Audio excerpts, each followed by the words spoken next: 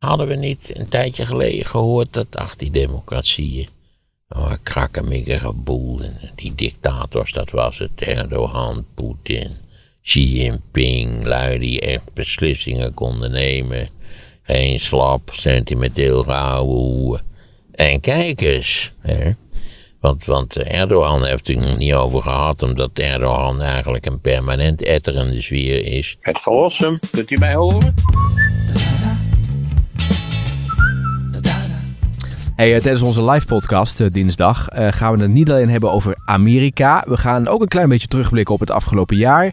Natuurlijk, voor de fans is er de mogelijkheid om met Maarten op de foto te gaan. Hartstikke leuk, altijd populair bij die live podcast. En er zijn nog een paar kaartjes, dus die vind je via het linkje en dat staat in de show notes. Dus kom met vrienden, familie gezellig langs aanstaande dinsdag in Utrecht. En als je zegt, ik heb nog een leuk onderwerp voor die live podcast, dan laat het ook eventjes achter.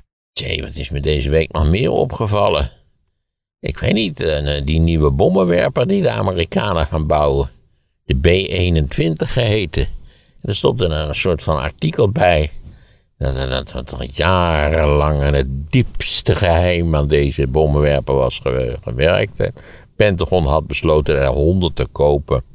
Wat mij eerlijk gezegd ronduit belachelijk voorkwam. Eh, maar en daar stond ook een plaatje bij, bij de B-21. En het is evident een doorontwikkeling van de B2. Op zichzelf een spectaculair toestel. Waar ze er ooit een massa van hadden besteld die ze nooit hebben afgenomen. Aangezien die dingen werkelijk schuw en schuwduur waren. En daarbij rijst natuurlijk een volgende vraag. Ga je nou echt? deze dingen zullen toch al heel gauw. Er stond bij dat ze een paar honderd miljoen per stuk kosten. Ik schat dat ze bij levering zeker een miljard het stuk gaan kosten. Moet je dat nou doen in een tijd ja, waarbij de bemande bonnenwerper toch wel enigszins in de schaduw geraakt is? Is dit niet een soort prestigeproject omdat je de luchtmacht in de lucht wil houden? moet je niet hier eens goed nadenken wat is de efficiëntie van een dergelijke onderneming om 100 voor 100 miljard 100 van die toestellen te bestellen? Maar goed, in het artikel was zoals gewoonlijk geen enkele kritiek. En er werd ook gesuggereerd dat dit gewoon sinds de B-52 de eerste nieuwe bommenwerper was, wat natuurlijk helemaal niet zo is. Nogmaals, het lijkt sprekend op de B-2. Prachtig ding overigens, daar niet van. Als er nou iets mooi is, dan zijn het die, al die totaal, nou, die, die extreem dure vliegtuigen die we vanwege de Koude Oorlog in de tijd hebben gebouwd. Ja, dus je vraagt je eigenlijk af waar is de innovatie hier op dit, op dit gebied? Ja, ik neem aan dat het ook weer wat moderner is dan die B2 zal zijn. Maar het had wel, was wel handig geweest als het in het artikel erbij had gestaan. Dat het toch alle waarschijnlijk een doelontwikkeling van de B2 is. Ja, waar heb je dit gelezen, dit artikel? Geen idee. Oké, niet in de kwaliteitskrant. Nee, dat, volgens mij stond dat niet in de kwaliteitskrant. Nee. Tenminste, nou ja, dacht ja. van niet. Ja. De vraag nee, die hebben, volgens mij hebben die wel militaire medewerkers die van man te weten. Ja. Hoe ziet nou eigenlijk de ontwikkeling van dat soort oorlogsspul door de, door de jaren erheen eruit? Want nu hebben we het weer nodig door die oorlog in Oekraïne. Dan staat het ook weer hoog op het lijstje. Maar je zou ook kunnen zeggen, ja, moeten we daar niet een beetje vanaf van, van dat oorlogsmateriaal? Ja, het probleem met de oorlogsspullen is dat je eigenlijk vooral oorlog moet voeren om erachter te komen welke spullen je nodig hebt en wat de beste mogelijkheden zijn. En, en, en ja, zoals, nou ja, dat is het klassieke thema natuurlijk, dat, dat de militairen altijd druk bezig zijn om zich omvangrijk voor te bereiden op de vorige oorlog. En dan tot verrassende ontdekkingen komen als er weer een oorlog wordt gevoerd. En feit is dat natuurlijk de Oekraïnse oorlog wel degelijk een reeks van verrassingen heeft opgeleverd. Bijvoorbeeld de extreme kwetsbaarheid van de tank. Als je de tank tenminste zo ongelooflijk onbekwaam gebruikt als de Russen dat daar gedaan hebben. Ongetwijfeld vanuit een hubris van dat, we zijn daar zo mee klaar en we hebben zo veel meer spullen. Nou, enzovoort, enzovoort. En wat blijkt? Ja, dat, die zaak bleek extreem kwetsbaar. En wat blijkt ook? Dat is die, die, dat die simpele wapens die je met zo'n pijp kunt afvuren, dat die ongelooflijk effectief blijven te zijn. Hmm. Ja, maar ook als je daar kijkt, echte innovatie vindt daar ook niet plaats. Nee, het ziet er nog betrekkelijk ouderwets uit. Ja, drones, drones kun je zeggen dat dat redelijk nieuw is. Ja, ja. En, en toch ook die, die, die laten we zeggen, die raketartillerie die met enorme precisie zijn doelen bereikt, dat, dat zijn allemaal toch eh, relatieve nieuwtjes. We hebben dat deels al gezien in die diverse golfoorlogen. Maar ja, je ziet wel dat als je vecht, dat dat direct invloed heeft op datgene wat als effectief wordt beschouwd en, en, en wat niet. En natuurlijk het slechte vechten van de Russen, dat is een factor die je natuurlijk nooit kunt incalculeren. Je weet niet van tevoren dat ze de pruswerk gaan afleveren.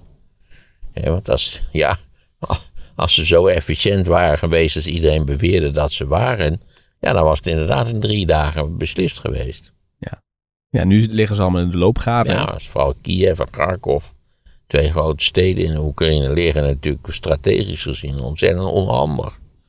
Hmm. Hoe bedoel je dat? Nou, vlak bij de Russische grens. Ja, precies. Dus dicht binnen het bereik. van... ligt, weet ik veel, dat zal het zijn, een kilometer of honderd van de Russische grens. En Kharkov ligt nog dichter bij de Russische grens. Ja, dus extreem kwetsbaar. En ze hebben zich nu allemaal ingegraven in de loopgraven, hè? Ja. Nou ja, het wordt winter. We zullen zien wie dat het er beste afbrengt. En ik ben geneigd om te denken dat aangezien de Russische spullen toch niet op orde zijn, dat de winterspullen waarschijnlijk ook wel weer niet op orde zullen zijn. Ik hoorde een deskundige zeggen, die loopgraven die zijn ontzettend handig voor de... Dat is heel sterke verdediging. Maar je wint, er, je, je wint er niet mee. Het is niet iets waar je een doorslaggevende zet mee kunt maken. Nee, je wint nooit met, met defensieve operaties. Kun je niet winnen natuurlijk. Nee. Als je, als je echt wil winnen, dan moet je meer doen dan... Het probleem is dat het defensief makkelijker is dan offensief. Dat, ik weet niet, daar zijn wel verhoudingsgetallen voor.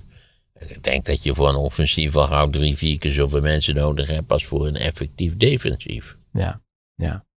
Nou ja, kijk, en dus ze lieten, ik weet niet of je dat filmpje hebt gezien, ze lieten wat beelden zien van hoe dat bij zo'n Oekraïner dan in die loopgraven is. Het, het regent natuurlijk, er is sneeuw, dus het wordt ja, heel ik ben ervan overtuigd dat het niet gezellig is. Erbarmelijke omstandigheden, maar niet beslissend nu. Dat, de komende tijd kunnen we niks... Nee, nee, nee, dit ging volgens mij allemaal over dat bakmoed, of bachmoed, of weet ik hoe je dat uitspreekt. Waarom een of andere reden die in de meeste stukken niet wordt uitgelegd, eh, wordt dat door de Russen als strategisch van enorme betekenis gezien. Uh, en de, de Oekraïners die het in handen hebben, zijn niet van plan om het uit handen te geven. Nee. Maar ja, er schijnen aan de lopende band grote hoeveelheden mensen te sneuvelen. Ja. Heb je nog dat artikeltje gelezen dat um, iemand in uh, het Kremlin de macht wil grijpen? Van Poetin. Het even bijpakken. Nee, wie zou nou niet. Had iedereen in het Kremlin, denk ik, wil graag de macht grijpen. Omdat natuurlijk, ja. Men, men ziet wel dat men in een uitzichtloze situatie geraakt is. Ja. Ja, daar moeten we natuurlijk ook van. Ja, ik dacht ineens bij uitzichtloze situaties. Natuurlijk de, de, de wijze waarop Rusland erin, of sorry, China erin geslaagd is om zich in een uitzichtloze situatie te manoeuvreren. Ja. Hier staat de oprichter van de beruchte Wagner-groep, uh, Prigozhin. ja. Die zou een plan beamen om de macht te grijpen in Rusland. Hij is een gevaar voor de mensheid. Dat lijkt mij de geruchtenmolen, eerlijk gezegd. Nou ja, het wordt hier... zelf is ook gek op publiciteit. Je kent hem. Ik ken hem helemaal niet. Hij Nee, was maar- de cateraar van Poetin. Gelukkig ken ik hem niet, zeg. Misschien had ik dan al niet meer geleefd. Ja. Hij is inderdaad Poetins kok. Die was voor de Wagner-groep aan de slag in Sint-Petersburg nadat hij als huurling had gevochten in Syrië. En de voormalige parachutist heeft inmiddels politiek asiel aangevraagd in, in Frankrijk. Oh, ook niet best. Kennelijk ook bang voor zijn hachje op een of andere manier. Ja, ik zou zeggen dat dit is allemaal eh, onbewijsbare, eh, vaak ook wishful thinking natuurlijk. Ik, mijn indruk is dat Poetin vrij stevig in het zadel zit. Hij was van de week van de trap gevallen ja, en op zijn stuitje terechtgekomen. Ja, daar heb ik alle begrip van de wereld voor. Ik val ook regelmatig. Je kunt er hoogstens aan zien dat hij kennelijk oud wordt. Ja.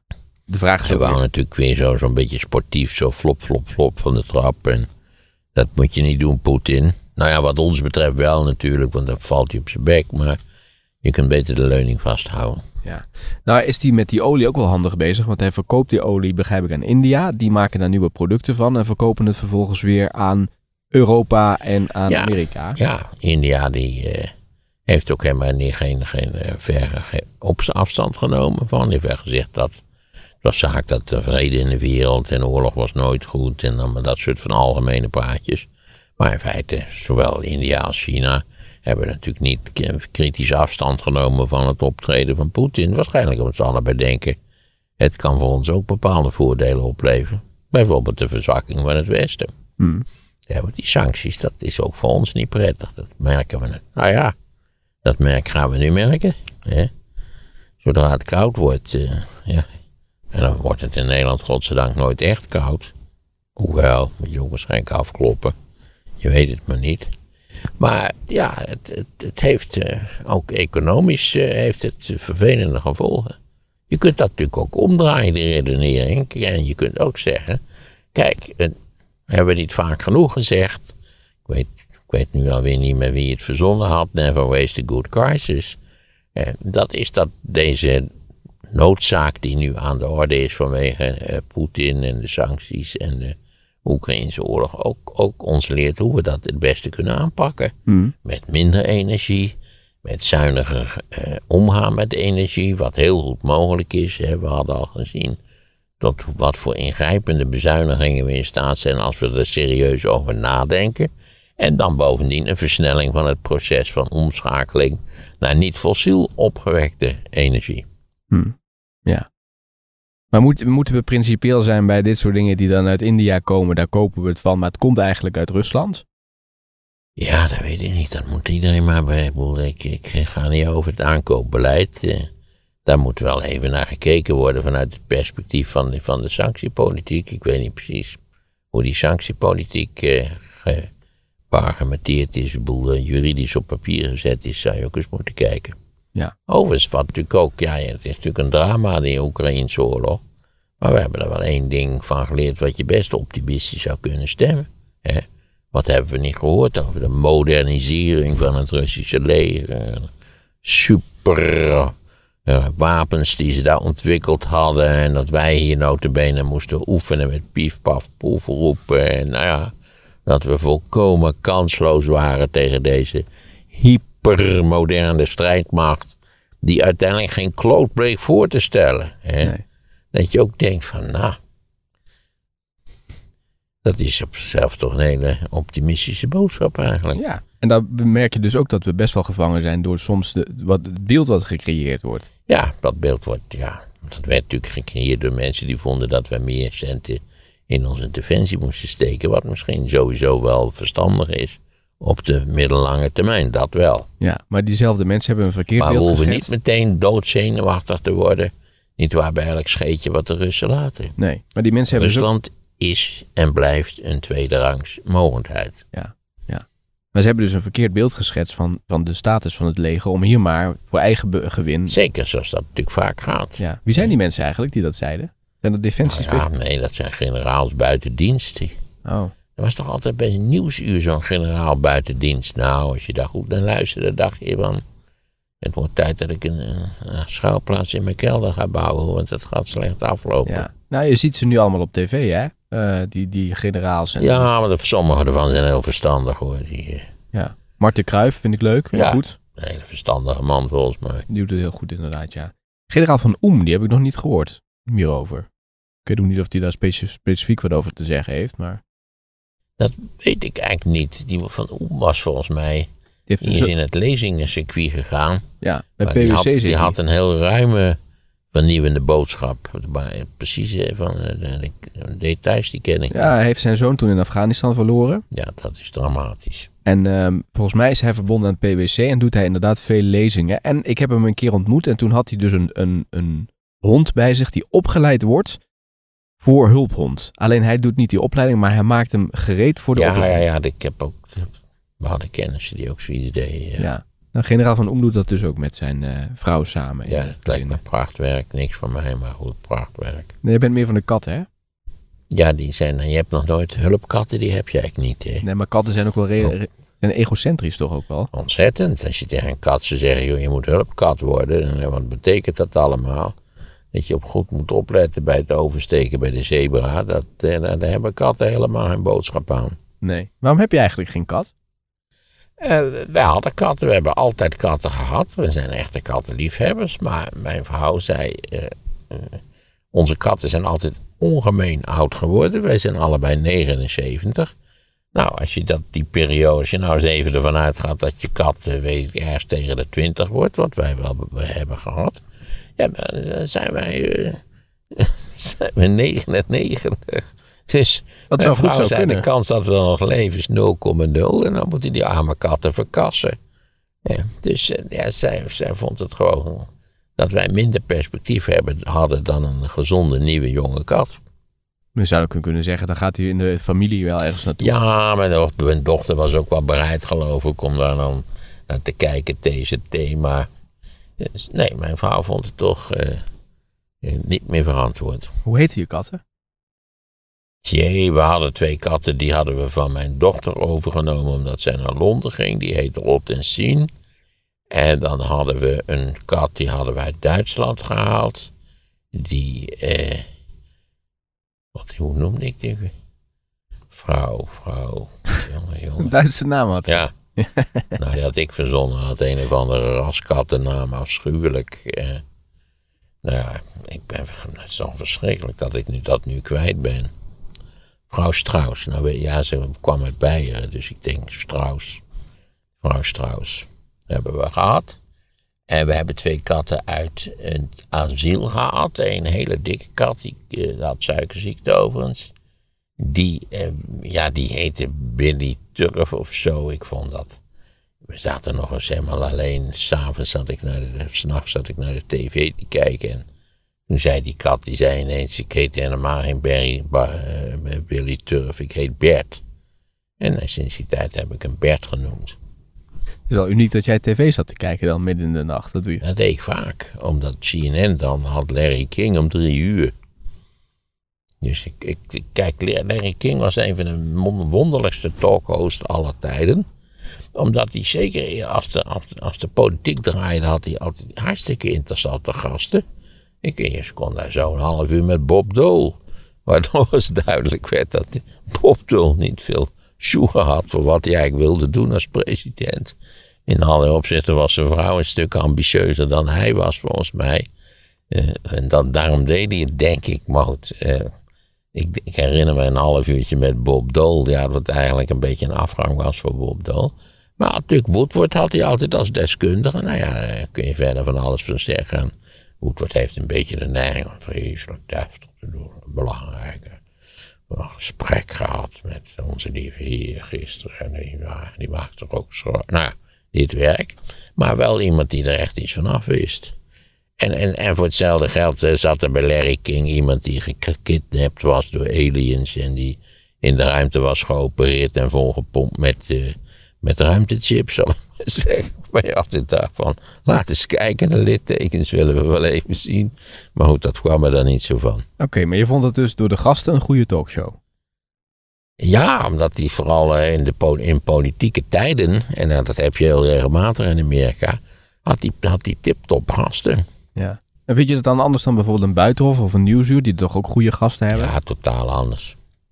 Echt totaal Maar er anders. zijn toch ook wel stevige programma's? Ja, dat zijn ze wel zeker. Ja, buitenhof ben ik al te laat voor. Het is Dat vind 12 ik ook uur wel een zondag. beetje melig, moet ik eerlijk bekennen. Ja, dat is, het, dat is het wonderlijke van televisie. Dat is gewone televisie, denk je altijd wel, dan een oppervlakkige zwets. En waarom kan dat nou niet wat uitgewerkt worden? Hier zat toch wel een goed wat langer gesprek in. Een heel bekende klacht van, van heel veel tv-kijkers. En dan heb je een programma waar het allemaal enorm serieus is en waar tijd besteed wordt aan en dat de complexiteit der zaken ook. ook en dan heeft het toch iets, iets onzegbaar meligs over zich. Dat is mijn probleem met Buitenhof. Hm. Maar wat bedoel je met melig dan? Want eh melig associeer ik met dat lachen je, en... eh, Dat je gedachten afdwalen. Ah, oké. Oké, dat komt misschien ook wel door de zondag. Nou, dat zou best kunnen Ja. zijn dat je in een aparte, in een aparte zondagssfeer verkeert. Dat, dat eh, acht ik niet. Je hebt in de tijd dat zo'n initiatief gehad eh, van een man, weet je die man niet, Hendricks. Die, die ook wat verdiend had of rijk was geworden aan de tv, dat weet ik dan niet precies meer. Maar die had zo'n initiatief van dat mensen een uur lang geïnterviewd moesten worden. Ja, En een aantal van die interviews zijn in dat tijd heel geslaagd geweest. Maar uiteindelijk bleek eigenlijk maar vrijwel niemand te zijn die, die, die een uur lang werkelijk iets interessants kan vertellen. En wel zodanig dat de kijkers blijven hangen. Want ja, we hebben allemaal tegenwoordig natuurlijk de, de, de afstandsbediening. Dus wat, ga je wat is. Ja, je hangt daar op die bank, je weet hoe het is. Hè, ook, je denkt toch, laat ik eens even kijken wat... dat wat eh, mijn zoon had een tijd dat hij simpelweg door al die programma's heen zepte. Hij had ook een theorie dat de meeste programma's inhoudelijk zo zwak waren. dat als je gewoon doorzepte al die. ik eens hoeveel dat er zijn, 28. Dat je, dat je al die programma's heel behoorlijk kon volgen eigenlijk. Ja, ja. Ben je een beetje van de lijstjes aan het einde van het jaar? Nee, ik ben helemaal niet van de lijstjes. We krijgen Tenminste, ik heb geen lijst. Ja, voor de Sinterklaas heb ik een lijstje gemaakt. met wensen. Nee, niet, niet. Ik had zelf eigenlijk. Ik, ik was hopeloos. Ik kon helemaal geen wensen verzinnen. Ik- Omdat komt dat ik natuurlijk, natuurlijk een beetje mijn eigen wensen altijd. die allemaal eigenlijk grotendeels eh, boeken betreffen. Eh, ja, dat ik die met een druk op de knop bestel. Ja, in digitale versies. Die, zoals je weet heb ik al eens uitgelegd, als de loop eruit is bij Amazon. Ja, heel veel mensen vinden dat je daar sowieso niets meer kunt be- bestellen. Is, dat kost het vrijwel niks. Bij voor 4, 5 dollar heb je de alleraardigste boeken ingeladen. ja. Maar het gaat meer ook om lijstjes van eh, toplijstjes. Hè? Van dit zijn mijn favoriete boeken van het jaar. Dit zijn mijn favoriete... Nee, dat doe ik nooit. Oké. Ik, hebben... ik zou het ook niet weten wat nu mijn favoriete boek van het jaar is. Nee. We hebben namelijk eh, behoorlijk wat eh, reacties gekregen Maar van... we hebben natuurlijk nog een heel belangrijk nieuwsfeit hebben we overgeslagen. Ja. Namelijk demonstraties in China. ja, dat is heel interessant, ja. En, en dat die, dat Chinese politbureau, en met name Xi Jinping, de goddelijke Xi Jinping, Wil je nog even dat herhalen hoe je dat uitspreekt? Want ik hoor iedereen, ik zeg het zelf ook verkeerd, maar jij zegt het heel mooi. Xi Jinping, ja, Ja, Xi, dat moeten we allemaal aan. dat heb ik van Gijs gehoord. Ja, Ja, Gijs, en een vrouw. ja, Die komt uit China, hè? ja, Ja, Xi. Xi Jinping, Xi zegt Jinping. Gijs dat je moet zeggen. Ja, want Ik iedereen zei zegt... namelijk Xi Jinping, Ja, maar maar iedereen is zegt dat. Xi Jinping. Precies, dus dat is ook een Als ik het allemaal goed begrepen heb. oproep aan Nieuwsuur en de NOS. Gijs, bel even op, eh, mocht je dit beluisteren, of ik het goed doe, ja of nee. Oké, maar jij wilde iets over, want het is een interessant feit inderdaad. Ja, het is een hoogst interessant feit. Omdat het Chinese politbureau, maar in het bijzonder omdat we steeds te horen kregen dat het het persoonlijke beleid van Xi Jinping was. Zoals in China alles van Xi Jinping is. Xi Jinping thought, Xi Jinping food, Xi Jinping waanzin, van alles en nog wat. Maar goed, Xi Jinping had besloten eh, dat China een no-covid-politiek zou voeren. Eh, dat we zeggen, eh, overal waar COVID even ook maar de kop opstak, werd het meteen keihard aangepakt. Eh, flats werden, werden afgezonderd van andere flats. Eh, barricades opgeworpen bij bepaalde buurten. Nou, kortom, het werd allemaal keihard. En, en wat blijkt natuurlijk? Dat het niet werkt. Hè, dat er namelijk voortdurend uitbraken zijn van COVID. Eh, Met als gevolg dat die, al die afsluitingen van delen van steden, hele steden, wijken, niet waar, dat die een enorme impact hebben op de economische problemen. En dat niet alleen, maar op de, de simpele persoonlijke vrijheid van, van eh, ongetwijfeld tientallen miljoenen, zo niet honderden miljoenen Chinezen. Dus eh, eigenlijk blijkt dat het beleid te zijn wat doodgelopen is op de, op de vitaliteit van het, eh, van het virus, vanzelfsprekend. Maar wat wij hebben gedaan, en nu is geloof ik in Nederland ongeveer 80% van de bevolking heeft het gehad. Eh, Je zou dus zeggen, nou, ze moeten gewoon zeggen, laat iedereen het maar krijgen. Maar de vaccinatiegraad in China is laag. Het gebruikte vaccin, wat hun eigen vaccin is, is niet best, heb ik begrepen.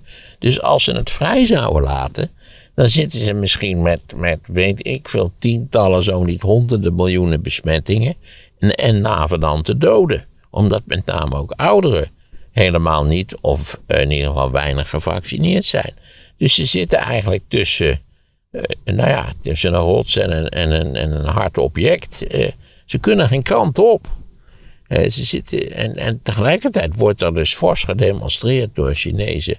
Wel lollig met die witte papiertjes. Hè, van, nee, er staat niks op. Maar als je er even over nadenkt, weet je wel wat erop zou moeten staan. Ja, en dat is toch in China met, met die rare, extreem totalitaire eh, eh, onderdrukking van de bevolking. Dus met, met die gezichtsherkenning en dan dat puntensysteem dat je ook denkt, Jezus, nog aan toe. Aan. Nou ja, eh, eh, zitten ze nu met de gebakken peren, daar komt het eigenlijk op neer. Ja. Maar wat ook eh En wat ze doen is wel hard optreden tegen de demonstranten. Maar ik begreep toch wel degelijk dat, dat, dat laten we zeggen, de, de, de bestrijding, dat die toch wel wat flexibeler werd aangepakt dan tevoren. Ja, sommige mensen werden wel echt hard opgepakt en in een busje ingetrokken. Maar mensen durven zich nu uit te spreken. Dat is toch ook wel uniek voor China? Ja, zeker. Want iedere keer als je toch interviews zag van Sjoerd Daas, die verslaggever van de NOS, die zelf dus ook Chinees spreekt. Mensen waren altijd toch wel op hun hoede, durfden zich niet echt uit te spreken. Ja, maar nee, het is een heel opmerkelijke ontwikkeling die ook te denken geeft over nou ja, dat, dat er kennelijk een onderstroom is met die forse kritiek heeft. Wat niet alleen werd er gezegd dat het een afgelopen moest zijn met die maatregelen. Maar meerdere malen werd ook gezegd dat eh, die Xi Jinping moet eens even opdonderen. Ja. He? Daar hebben ze, ja. Dat hij natuurlijk net dat congres heeft gehad. Waarbij hij weer voor vijf jaar en in principe voor de eeuwigheid benoemd is als leider van de partij. Ja. En schijnbaar is dit begonnen op WeChat. Dat is een soort van Facebook van uh, China. Daar zijn, die, die, daar zijn groepen gecreëerd waar mensen dit ongenoeg hebben geuit. En dat heeft dus geleid ook weer tot die fysieke bijeenkomsten. Ja, je ziet ook dat je, dat je kunt van alles controleren bij de, bij de socials. Maar totale controle is kennelijk toch een hele lastige klus. Nee, en het wint het dus ook niet van het echte, diep gewortelde ongenoegen van die mensen. Die natuurlijk maanden ja, vastzitten. inderdaad bereid zijn de straat op te gaan. Dan doen ze wel hun doek over hun neus. Ja. ja. maar er was ook iemand die zei van ja, ik, ik moet ook rondkomen. Ik kan helemaal niet meer rondkomen doordat ik iedere keer thuis moet blijven. Nee, en daar word je niet dan niet gecompenseerd. Nee, nee. Dus dat, ik vond het een enorm, on, ja, tel, tel even op dat er natuurlijk ook in, in Moskou of in Rusland evident ook veel oppositie langzaam groeit tegen Poetin. En dan is het natuurlijk, hadden we niet een tijdje geleden gehoord dat ach die democratieën Oh, krakkemikkige boel. Die dictators, dat was het. Erdogan, Poetin, Xi Jinping. Lui die echt beslissingen konden nemen. Geen slap, sentimenteel gehouden. En kijk eens. Hè. Want, want Erdogan heeft het niet over gehad, omdat Erdogan eigenlijk een permanent etterende sfeer is. Omdat hij natuurlijk een economisch beleid voert wat, wat stapelkrankzinnig is. Wat op een goede dag toch ook ergens tegen een, een, een blinde muur moet oprijden. Ja, ja dus uh, het is bepaald niet, uh, het zijn geen feestelijke jaren voor die dictatoren die we zo gevierd hebben. Ja. Nou ja, de, de, de Poetin-bewonderaars in Nederland heb je die ook toch? Ja, zeker Thierry Baudet. Ja, daar hoor je heel weinig over. Die heeft dat openlijk bij BBC volgens mij in een interview gezegd, ja. En maar nog eventjes over de, want we moeten misschien de schaal wel nog even aangeven. Als je natuurlijk kijkt hoeveel Chinezen hebben gedemonstreerd en hoeveel mensen er ook Ja, wacht even, er is een bevolking van 1,4 miljard ja, nee, mensen. Maar dat wordt natuurlijk door de, de tegenstanders gezegd. Ja, het viel wel mee. Het waren de, de, de diehard, zeg maar de Greenpeace-achtige types. Die maar het feit dat het gebeurt is opmerkelijk. Hmm, ja. ja, omdat het voorheen bijna nooit is. Nou, we hebben natuurlijk de, welke demonstraties hebben we eerder in China gezien die heel bekend zijn? Nou ja, we hebben natuurlijk de bekendste demonstratie ooit was Tian Tiananmenplein. Plein van de Hemelse Vrede. Met dat meisje voor die tank. In 89. Waar je over ziet dat er binnen het politbureau eigenlijk. Eh, eh, dat speelt, die, die demonstraties en die ontevredenheid speelde al een jaar of twee in dat tijd. Uh, en in het politbureau bestond oneenigheid over de vraag of dat nou hard aangepakt moest worden, ja of nee. En degene die zei: nee, dat moet je niet doen, je moet met ze in gesprek gaan. Die is uiteindelijk op een zijspoor gezet. Daar is het eigenlijk vrij droevig mee afgelopen. En Deng Xiaoping, die toen natuurlijk nog leefde en eigenlijk op de achtergrond ook de baas was, die heeft toen besluit, besloten tot een keiharde aanpak. Waarbij, voor zover we weten, honderden doden zijn gevallen. Maar ook dat was een, overigens waren dat ook ongeregeldheden. Niet alleen in Peking, maar ook op allerlei andere plaatsen. Waarbij een belangrijke rol speelde, niet waar, het, het het treurige gedrag van, van de kindertjes van de, van de machthebbers. Die, nou ja, die een ontzettend proleterige sfeer om zich heen hadden hangen. Beetje hetzelfde wat je ook altijd uit, Moskou hoorde. Ja, zijn, dat, nou, het zijn klote landen, het zijn klote regimes. Maar, maar dus ja, dat was toen. Eh, dit, dit, volgens mij was toch iedereen vrij verbaasd dat dit verschijnsel zich voordeed in China. Hoe zou je het willen noemen? Uh, hoopgevend? Ja, altijd, altijd in, als je in een zodanige dictatuur als China is, want dat is het, uh, uh, gaat protesteren, dan vind ik dat wel hoopgevend. Tegelijkertijd heb ik niet de illusie dat Xi Jinping morgen beschaafd afscheid zal nemen en, en van zijn pensioen gaat genieten, hoewel die 69 is. Nee, dat zal niet gebeuren. Is het nou zo dat Xi Jinping en, en Poetin even oud zijn? Denk ik nu ineens. Zijn ze allebei zijn ze 69, toch? Volgens mij is Poetin net 70 geworden, als ik me niet Oh, vergis. maar Is het goed, niet? ze zijn praktisch leeftijdsgenoten. Dus. Ja. Nou, ze zullen misschien wel even contact hebben gehad met elkaar. Naar Nou, aanleiding dat hiervan. las ook nog ergens. Dat, dat ook, ook eh, ja, dat die conferentie in Centraal-Azië, waar Xi Jinping ook was, en ook al die stam, die leiders van al die diverse stands die je daar hebt, hè, Kyrgyzstan en- enzovoort, eh, dat toch de verhouding ook tussen Poetin en de leiders van die stands, dat die eigenlijk ook evident op de tocht stond. Dat, ze, dat er ook sommige van die lui zeiden, nee, wij zijn er helemaal niet voor die oorlog in de Oekraïne is een hoogst ongelukkige zaak. En, eh, nou ja, dat het Xi Jinping ook was opgevallen dat, natuurlijk, dat, dat Poetin natuurlijk door deze misgreep, wat het uiteindelijk blijkt te zijn, natuurlijk ook de kans loopt dat hij helemaal zijn greep verliest op de, laten we zeggen, de restantrepublieken van de Sovjet-Unie. Ja. Nog even over de demonstraties in China. Denk je dat dat nou op grotere schaal kan gaan plaatsvinden? Of Nee, dat denk ik niet. Eenmalig is wel een signaal. Ik denk dat het politbureau zijn beleid eh, zal aanpassen op dit punt. Eh, maar ik, ik denk niet, nee, dat het, dat het ineens eh, een, een- dat het een soort revolutionaire tournure zal worden. Dat geloof ik Dat niet niet. zo. nee, nee. Daarvoor zitten die luiten stevig in het zadel. Hebben ze te lang de kans gehad om het, om het voordelig te organiseren. Hey, er zijn wat eh, eh, berichten gekomen van lijstjes van mensen die ze hebben ontvangen. Waar bijvoorbeeld uit blijkt hoe lang mensen naar deze podcast hebben geluisterd. Ik heb hier bijvoorbeeld Roel. En die stuurt iets door. Die zegt: Ik heb dit jaar 9568 minuten naar Maarten geluisterd in de Dat vind podcast. ik wel mooi. En hij zegt er ook bij: Kennelijk heb ik ook 9000 minuten gesproken dan. Ja, of je zet het op herhaling dat je in slaap valt en opnieuw Oh. moet luisteren. En dat is dus 150 uur. En het- hij zegt dus denk ik meer dan naar mijn eigen vriend dat ik geluisterd heb. Oh, ja, dat zou kunnen. Een groot deel daarvan ben ik wel in slaap gevallen, maar dan speel ik het de volgende dag weer opnieuw af. Ja. ja, dat het zo slaapverwekkend is, dat vind ik wel interessant. Kennelijk heeft mijn stem dus toch een soort rustgevend karakter. En spreek ik in een, in een rustgevende cadans. Nou ja, ik, ik- misschien moet ik mezelf verhuren als, als, als therapie, als therapeut. Ik zie ook dat heel veel mensen die slaapproblemen hebben, dat dan wordt gezegd, oh luister maar even naar Maarten, want dan val je vanzelf in slaap. Dan is het toch, ja, je bent geneigd om te zeggen dat het ligt aan mijn melige voordracht. Ik, ik wil het toch wel meer wijten eigenlijk aan het feit dat ze dus een hoop robbel in hun hoofd hebben. Dat ze kennelijk helemaal niet in staat zijn om, om zichzelf eh, enigszins gerust te stellen. Of tot, tot een grotere rust. Dat, eh, dat ze kennelijk totaal nerveus door het leven rommelen. Dat is mijn indruk. Ik- Maar waar baseer je dat dan op? en dat je dan voortdurend niet slapen kunt en dat je dan dus door mijn stem in slaap raakt. Dat betekent toch, ja, er zijn toch ook wel andere mogelijkheden. Muziek waarmee je misschien, waarvan je slaperig zou kunnen worden. Of... Maar goed, ik juich het verder van harte toe. Als ik mensen kan helpen met in slaap te komen die niet kunnen slapen, dan vind ik dat een, een buitengewone verdienste, eerlijk gezegd. Ja, je kunt ook een middeltje gebruiken, maar dit lijkt me Ja, het is wat beter natuurlijk eh, om naar mij te luisteren dan weer middelen te gaan gebruiken. Je weet dat er niet zo verslavend is als slaapmiddelen.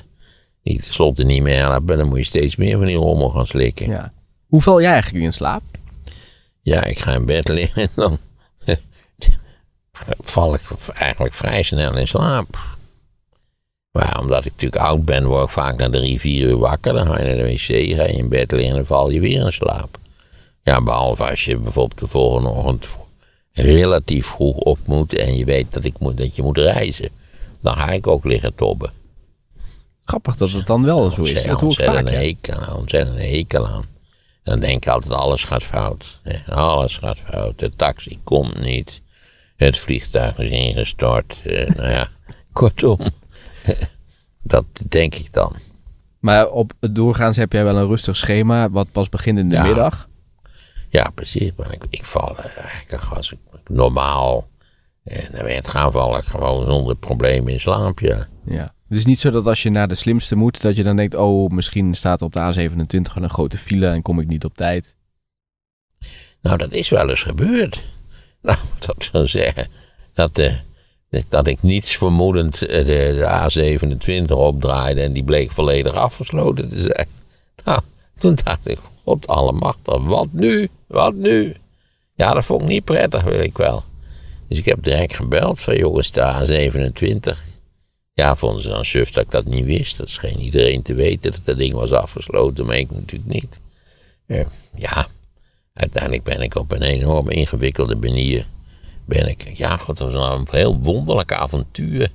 Ik geloof dat ik in een van die dorpen daar terecht kwam. En ik weet niet Groene kan. nou, nee, nee, Bussum, of dat Bussum was of Laren, ik ben het vergeten. Ik, ik had geen idee waar, hoe ik eruit moest komen. En interessante vraag is, waarom heb ik het telefoontje niet gebruikt? Maar hoe dan ook, tenslotte eh, heb ik een mevrouw aangesproken. Zei, ja mevrouw, ik ben echt alle gevoel voor richting kwijtgeraakt. Allemaal van die laantjes met van. Ja. Zei ze, oh, ik stap wel even in, ik rij wel even met u mee. En dan bent, bent u zo, u bent er zo uit. Nou, dat is zo, gezegd, zo gezegd, zo gedaan. Ik was nog, ne- weliswaar op het nippertje, maar ik was uiteindelijk nog op tijd. Maar dat vond ik wel een heel vervelend incident, ja. Ja. En ga je dan staan bellen eh, op een parkeerplaats of doe je dat al rijdende? Nee, ik ben bij een pompstation, ben ik, heb ik gebeld. Ik kon zo gauw geen pi- parkeerplaats vinden. Een pompstation zat in Nederland, dus daar ben ik even gaan staan. Met je mobieltje heb je gebeld. Ja, ja daarom. Dat, ik kom nu tot de conclusie. Waarom heb ik dat ding niet gebruikt? Dat was het- want je hebt ook wel eens dat je GPS ook op hol slaat en het niet meer weet. ja, maar die geeft wel aan als het dicht en is. dat is meestal van die, van die, van die nieuwbouwwijken met... eh, Ja. Maar hoor je dan die overheidspotjes nooit van A naar beter? En bereid uw reis nee, altijd joh, voor. Ik luister nooit naar de radio. Nee, maar ook op tv is het. En volgens mij ook online. Ik had natuurlijk tegenwoordig kijken, kijken altijd wel even naar, eh, naar eh, teletext.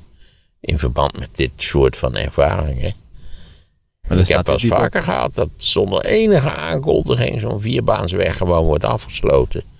En, en dat je dus, kijk, als je dat van tevoren aankondigt als Rijkswaterstaat, dan kun je dus eh, ontwijkende maatregelen nemen. Ja, maar dat zetten ze dus op maar als dat gewoon hier aan het einde van de straat is, dan ben je totaal de klos. Ja, want dan word je moeizaam je weg zoeken. Ja. We hebben nog een aanmelding gekregen hè, van iemand die, eh, jou, die wil als chauffeur voor jou worden. Oh, nou ja, ik heb prima chauffeurs, maar eh, laat u zijn adres opsturen. En dan, stel voor dat ze geen van allen kunnen, dan ben ik best bereid die jongen, want ik neem aan dat, dat, ik neem aan dat het een jongen is, te Ja. bellen. Volgens mij is het een jongen inderdaad, ja. Hij moet zich wel realiseren dat hij enorm rustig moet rijden. Als ik ergens een hekel aan heb, ik heb wel zo'n chauffeur gehad dat je denkt, wat bezielt die man? Hè? Ja, dat hij bereidt zich voor op een Formule 1 carrière, maar liever niet in mijn auto eerlijk gezegd. Moet hij ook een pet opdoen en een stropdas dragen? Nee, hoeft helemaal niks.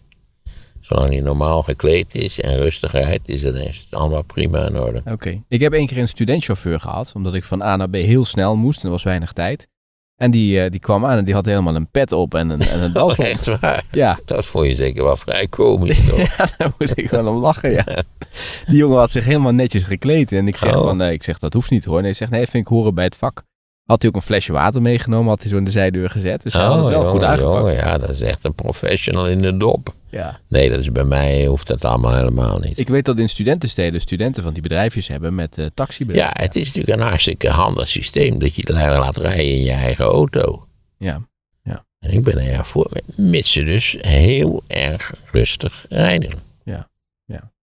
Hey Maarten, ehm, wil jij nog iets vertellen over de inflatie? Dat is nog een van de vragen die gesteld worden. Met name omdat mensen toch ook wel een beetje ja, in, de, in, in de rat zitten met wat buurlanden doen en wat de Nederlandse overheid doet om die inflatie te compenseren. Ja, nou, volgens mij eh, wordt het deels wel gecompenseerd. Voor zover ik dat na kan gaan, maar het zal nooit helemaal compleet worden gecompenseerd. Eh, ik begreep dat de inflatie al wel was, was teruggelopen. Mijn indruk was dat het toch veel te maken had met de situatie post-COVID. Eh, en de verstoring van eh, allerlei productie- en, en leverantiesystemen. En, en dat het, eh, ja, de economen zijn allemaal, ja, dat is een heel tijdelijke hoge inflatie. Maar dat moet gezegd worden, ook hier hadden ze dus weer geen gelijk, want het is langer gaan duren dan wij wel, of dan dat zij, dan zij gesuggereerd hadden dat het zou duren. Ja, wat moet je er dan verder aan doen? Je kunt niet veel anders doen dan maar afwachten tot het geleidelijk aan minder wordt. Hmm. Oh, en tenslotte natuurlijk zal, zal eh, hoe heet het, de, de centrale bank zal op de rem gaan staan. Ik vond het wel interessant dat Dat als... was ook wat er zo in Amerika ook gebeurt. Ja, de vet. Maar de centrale banken, als die nu iets doen, schijnbaar over anderhalf jaar zie je het effect ervan pas.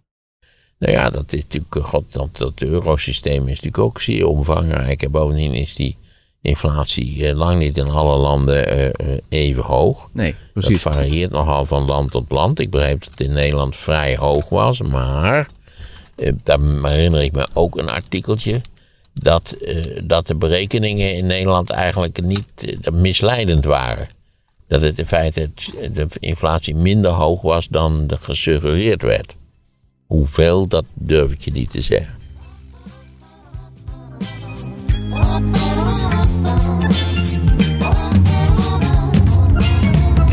Dat moet je niet doen, Poetin.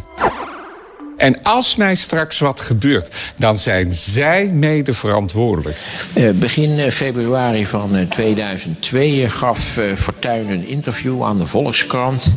waarin hij meldde aan de lezers dat Nederland vol was. Maarten Verrossum over het populisme. En nou had hij juist aan Leefbaar Nederland beloofd dat hij niet meer zou zeggen dat Nederland vol was. Want dat was natuurlijk, ja, begrijpt u, metaforisch voor het idee dat er komt niks meer bij. Nou, wellicht hier en daar nog iemand, maar in ieder geval geen islamieten meer.